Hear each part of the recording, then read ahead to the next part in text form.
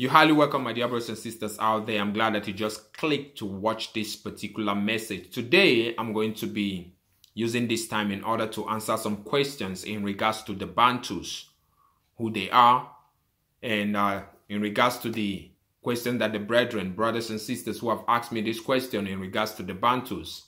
So in today's topic, we're going to be talking about the untold truth about the Bantus and the things that you needed to be able to really understand the deep mysteries and the, the real truth, the truth of the matter in regards to who the Bantus are and the things which is going on in that particular continent, in the continent of Africa, West Africa, East Africa, Central Africa, and down all the way when you talk about some part of or even North Africa. And these are the things that we need to be able to really understand. So this is time. I want us to be able to really take this time in order to dive into the explanation and be able to really take a step to be able to really understand what a Bantu, the Bantus, who the Bantus really are. So you need to be able to understand that before the time of, during the time of Yahushua, some things happened that people are not even aware of that led to the coming of the um, Romans. In the sense, the Romans were being told uh, literally not the Romans, but the people we are being told at the time that the Romans were going to come. So, but you need to be able to understand that before the time of the coming of the Romans, there were people who were in a place. And these people who were in a place, which is the ancient land of the Phoenician Canaanite, the ancient land of the Phoenician land, which is what they call, you know, talk about now, Middle East or wheresoever. And that place is actually the land of Canaan, and which is still part of the continent of Africa. So these people who were in that particular place, at the time, they were doing some things which were which were no longer in in perfect alignment with what they were supposed to be doing. So, but something happened along the way. A messenger was being sent in order to warn people who we are doing things in that Phoenician land of the Canaanite because the time for the purging of that land has reached, has come. In order for it to be purged, a messenger was being sent forth. The word was being sent forth in order to warn the people who were there, the people who were doing some, you know, who were doing what they were doing. And so that warning, you need to be able to understand something that there were people, there are people who took heed. When when you go into the scripture, the scripture talked about when you see Jerusalem being encompassed by army, because this time around, the Most High is going to use that, you know, the, the, the Romans as an instrument to be able to come and desolate that place which is called Jerusalem. Remember what the scripture say that you know the Bible makes us to understand that the Most High said that He's going to defend Jerusalem for His not for His name's sake, which means something has happened even before the coming of the Romans in order for the Romans to be able to de desolate the Phoenician land of the Canaanite. But there's something that you need to be able to understand. The people who were in that ancient land of the Phoenician land of the Canaanite, the place which is called Jerusalem is the land of the Phoenician land of the Canaanite. There's no doubt about it. You need to be able to understand that.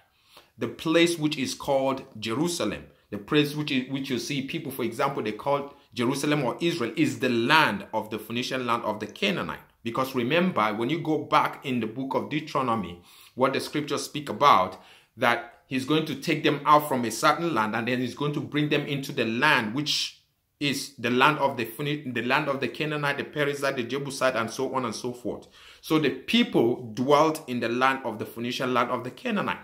But you need to be able to understand something. The warning that came to the people who were in that place, in that ancient land of the Phoenician Canaanite, was that when they see Jerusalem being encompassed by army, let them know that the desolation thereof is already near. And so what happened is that they need to be able to flee. Now you need to be able to understand that there are some that took heed to this particular instruction. Now, what is it? These are the things that you need to be able to understand. What is it that they were doing in that particular place that would warrant them to leave so that the Romans, you know, when the Romans come, their desolation is not going to touch them. So what, what I want you to be able to understand is that these people were doing something in that Phoenician land of the Canaan, which is called Jerusalem, which is called Israel at that time. So, but now it has to be desolated. Why? Because they were doing something which was not in alignment. So they have gone out of order of what they were supposed to be doing. And so what happened is those people who were rulers or who were the ones who were ruling the people in Jerusalem in during that particular time, like I said, they have gone out of course and order. So what happened is that because of those things which they have done, somebody is going to come and desolate them. So, but what happened is that you need to be able to understand that these people who took, who were involved in the in the things which they were doing at that time in Jerusalem, they fled off. They fled off. I want you to bear that in mind because it's very, very critical and important in order for you to understand what took place or what happened or how Bantus were being created or were being formed. So these people who were in Jerusalem or who were, you know, the leaders of the people who were the ones who were running running the um the mosaic law and the things the elders of the people the you know the people who were the ruling class at that particular time the people who were there they knew about this warning and they knew that there was something which they were doing that warranted the romans in order for the romans to come and do what and destroy the, and and to come in order to destroy that particular place so what happened is that they they ran away according to the instruction but remember some of them, when they ran away, still continued. They had in mind. So they still continued the same practice of what they were doing in the ancient land of the Phoenician land of the Canaanite. So they had a religion. They had a means through which they have been doing a lot of things. They have their, their structures and everything intact. All what they did was to be able to run does not mean that they have already been, you know, uh, they have already gone and no longer practicing what they were doing. Even when you go into the um uh, uh, the book of um where the Bible talk about that when children of Israel when the Most High removed them, He placed them in what? In the place which is called Hal Halem in Elam and other places, and there they continued doing what?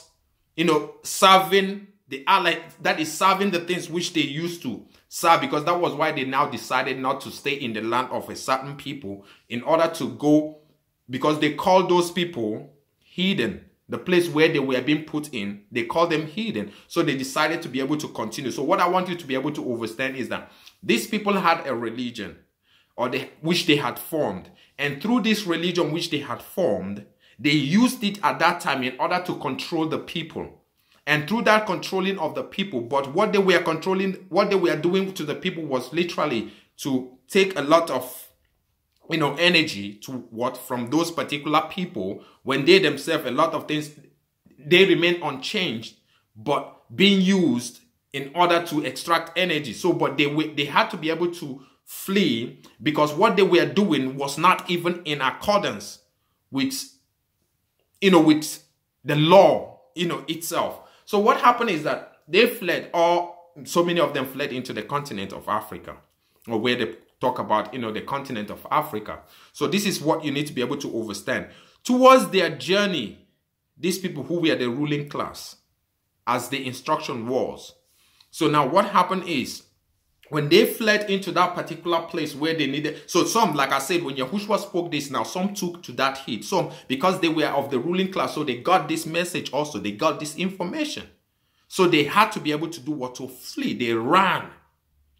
From which people? From the invasion, invaders, which are the Romans. So when they ran into the continent of Africa, that religion which they were practicing, which is the religions of, you know, you can call it the religion of Judaism, you can call it the religion of um, um, back to Torah or whatsoever, you know, I mean, just the religion which they were practicing at that particular time.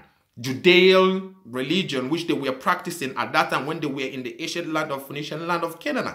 But now they have been, they have run away, getting an information to run away. So when they ran away into the in, into the inner part of the continent, which is another land of the Phoenician land of Canaan, right?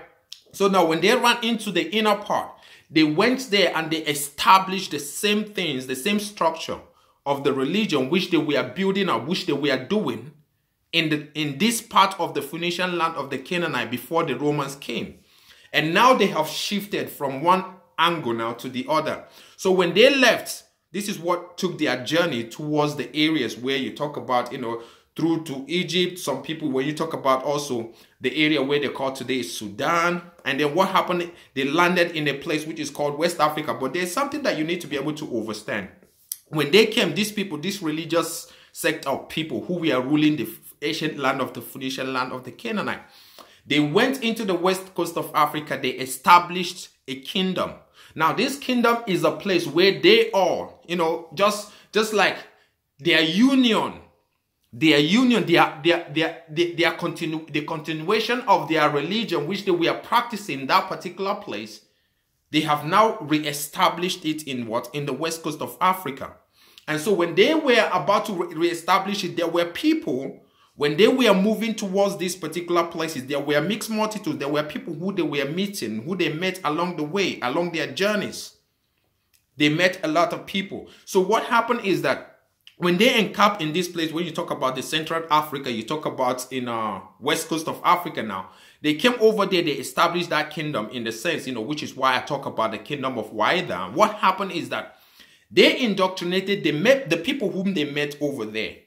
They used their knowledge of the indoctrination of the things which they have been doing in the place where they fled from, and they used that in order to indoctrinate a set of you know, the people who they met in those particular area, in those particular area, which is called, um, which is in the in the west coast of Africa. So they used that religion to indoctrinate a certain people who were already living there. So those people who they met and they indoctrinated them, which is literally they have won a soul from these people. They have converted these people from their own local way of believing or their own local way of worship into this newer religion, influx of religion, which they themselves, which they themselves brought as they were coming into the west coast of Africa.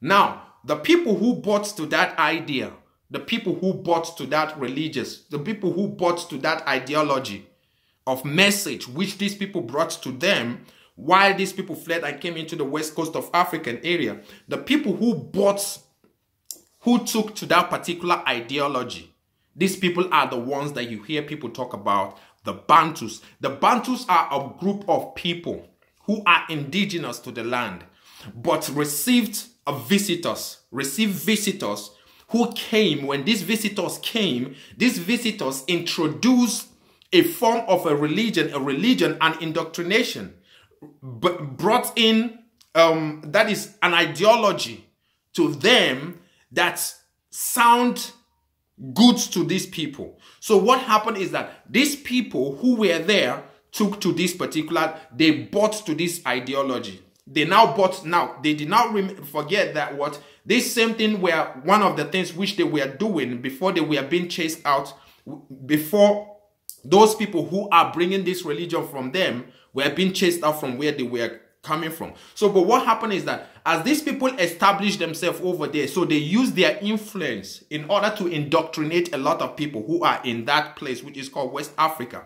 So at the time, this, the whole people who they have indoctrinated now believed and accepted to this particular call or to this particular ideology. So at the time, these people who, like I said, these people who accepted this call, or who accepted this ideology, who accepted this religion, which, which is a framed, which is um, an alien religion to the people who were already in the west coast of Africa before these people came. So those people who accepted it, the people who came called them Bantus.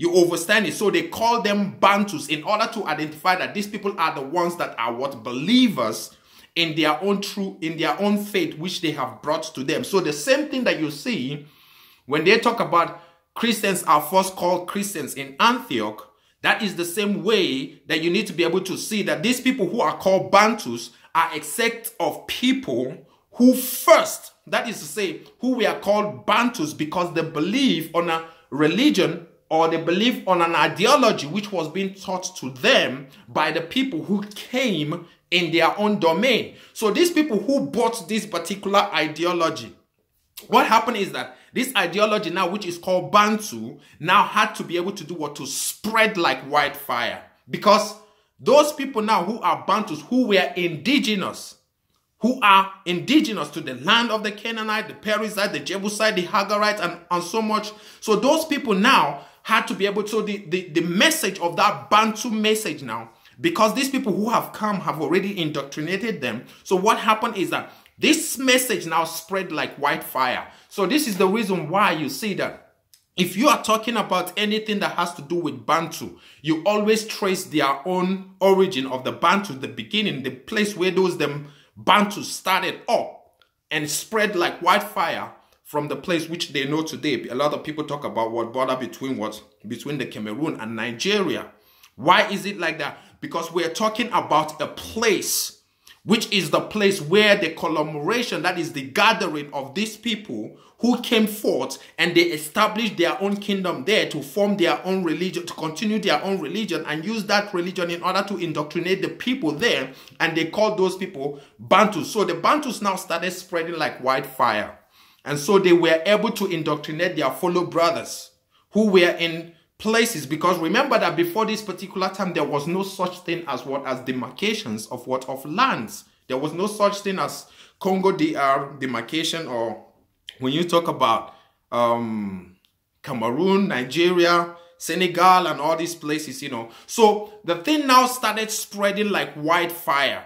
And so when it spread like wildfire what happened is that so many people who are in the modern day congo dr Democratic Republic of Congo, when you talk about Zaire, when you talk about Angola, you talk about um, Uganda, you talk about Kenya, you talk about South, South Africa. So a lot of people who were indigenous to that particular place. Now, since the message of this Bantu have originated from here, it was very easy for it to spread like wildfire because his their own fellow brethren were all in that same continent. So what happened is that those people now has been gotten through this ideology because their fellow brethren were able to now also continue sharing this same message with them. So it was a booming time at that time when it occurred. So a lot of people now began following, now living their own tradition to be able to follow this newer version of religion which has been introduced to them. So it became, so this is why I say that when you go back to the history of the reality of what happened, this is what took place even before the coming of the Romans. The, the Romans were late comers. The British people were late comers. When it comes, this is what, why I've been saying this, that the Romans were late comers. The British people were latecomers when it comes to using religion as an instrument for indoctrination or as an instru instrument of colonialism. That there are people who have been doing things for the longest. So those people who entered there, they have already established a, a, a, a kingdom because remember, just like I said, while these people were chasing them, they had to come over there. And when they came over there, they established their own kingdom. But before the establishment of their own kingdom, they used their influence and indoctrinate the people who were around there. And those people who were being indoctrinated were called Bantus. And from there, that is the reason why when you see somebody, a Bantu in Kenya, a true Bantu who has a real knowledge of what of a Bantu of, of the origin of Bantu, they are going to point you to West Africa. They are going to point you to Nigeria. They are going to point you to um, uh, places like Cameroon. They are going to point you towards that area. If you see somebody who is a true you know, Bantu who has a real knowledge of where the Bantu, the origin of the Bantus began, they are going to, from South Africa, they are going to point you to West Africa. From Congo, they are going to point you to West Africa. When you talk about uh, Uh, I'm using the West Africa because it's the term that is being called West Africa today, but originally it is not West Africa. So what happened is that these people are all need to be able to understand it. It was as a result of that influence, of that call, of that particular indoctrination that now spreads. So this is why so many of them are part of the people who are trying to go back into that law of Moses because it was the same indoctrination of things which were being taught to the people at the time when these people came over. So this was the instrument which they used. What you need to be able to understand is that this was actually the time when, you know, when you talk about indoctrination or using a religion as an instrument in order to conquer a people who have not been contacted using a religion as a means of colonialism. Like I said, there are people who have migrated before the coming of these people actually. They have migrated, you know, through the course of time for the longest. Right? So, but there are people, these ones who came later on were people who you who used this Bantu or who used their religion as an instrument. Just the same way that you see that when you talk about um religion of Islam, for example, somebody had to be able to use it as an instrument to be able to bring it into the west coast of Africa or into the continent of Africa. Literally, what I mean by into the continent of Africa, because when you talk about continent of Africa, do not just think that the shape of where they just called continent of Africa is just Africa. No, Africa all the way extend from even Iraq. People talk about all those Syrian part of all those areas. There ain't no such thing as what as Middle East. You need to be able to understand when you talk about all those places where they talk about um, Israel, um, um, talk about the, the, the whole land of the Phoenician land of Canaanite are all parts of the same place, which is what, which is the Hamitic land, where a certain people are living in order to enter to another side of their own land. So what I want you to be able to understand about the Bantu is that it is a name that is being used to attach to the people who had believed or who had adopted this way of life or this religion which was being taught to them by these invaders, by these people who ran into their domain.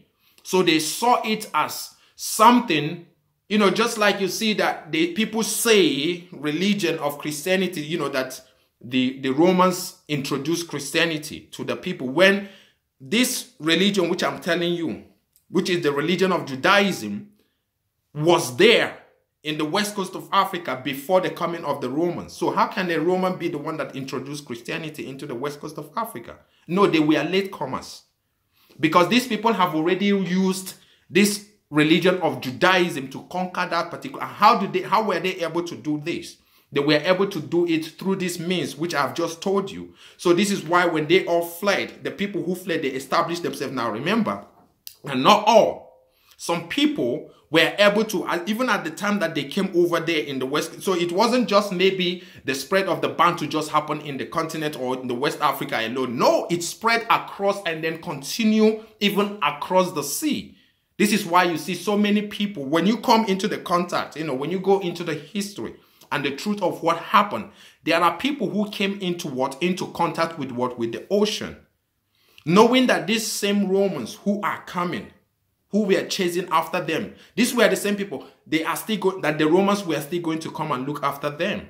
So which was why they now continued their journey. They, some decided not to stay in the continent itself.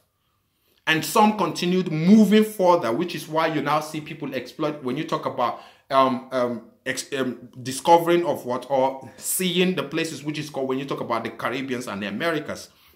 Because there is where you now see the same thing that is happening. A time came that when they came, people who were exploiting, that is opening up the continent. There were people, just like I said, the people who came over in the west coast of Africa and established their own kingdom there.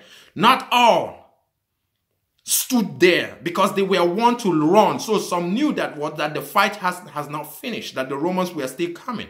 So while others, since they have established their kingdom, others continued the journey, the running over. So this is how they now went and continued their indoctrination in the places which is called Americas. When you talk about the Caribbeans, when you talk about, you know, the different places right so these are the things that you need to be able to understand about the trust you know when you talk about not you know the the the, the trans the over oversee that is when you talk about people who are in, in diaspora or in different places but primarily now when i talk about these particular people who are called bantu so you can see a brother who is a bantu in the truth of when you talk about in the things about the the back to torah or mosaic law or judaism found in what in different places like in the Caribbean, they had to practice those things because these are the things which they know before the introduction of the Romans. Like I said, the Romans were late comers. You see, so these people have been practicing these things. They have known these things before the Romans. So what the Romans were trying to do was to be able to desolate, to destroy the things which these people have established. So like I said, these people were, were, and you know, that it has been their fear that the Romans were going to come.